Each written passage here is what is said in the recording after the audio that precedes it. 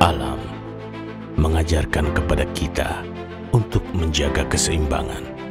Dengan keseimbangan, kita dapat hidup berdampingan, seperti momentum Lebaran saat ini.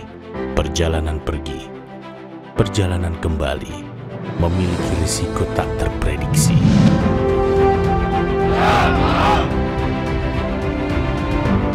Basarnas melaksanakan siaga Lebaran.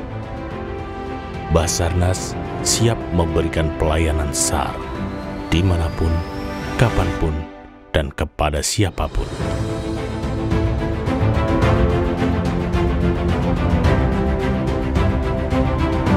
Quick Response, Search and Rescue, Safety First, dan patuhi protokol kesehatan COVID-19. Afiknam, jagat samagram. Selamatlah alam semesta.